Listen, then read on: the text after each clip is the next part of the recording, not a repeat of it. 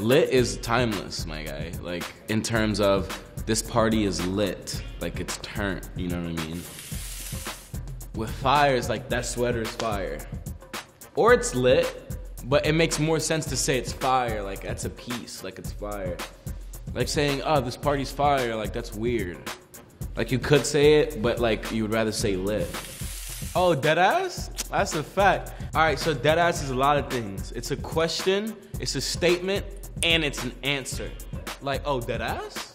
Or you got, nah, deadass. Or like, deadass. You know what I mean? So, deadass is a classic, classic New York statement. It means you're dead fucking serious, like deadass. Or like, are you dead fucking serious? Or like, nah, dead fucking seriously. Fuck no. AF is, is so quiet for that, bro. See, people be like, oh, I'm woke AF. Like, oh, dude, woke? First off, ain't nobody woke. I hate woke Twitter people. Like, dude, like, it's more than that. Like, you gotta think deeper. Like, all those, like, ultra Twitter, like, everything's that deep people.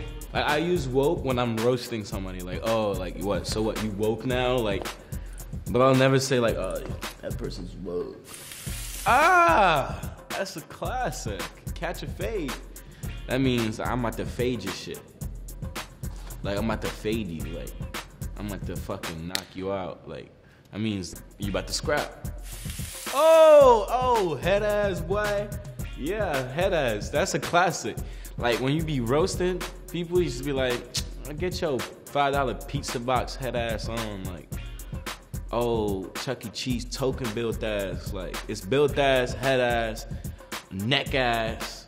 New York got a lot of ass in it. Look, built ass, in the face ass. Get your bum ass out of here. That's the thing too.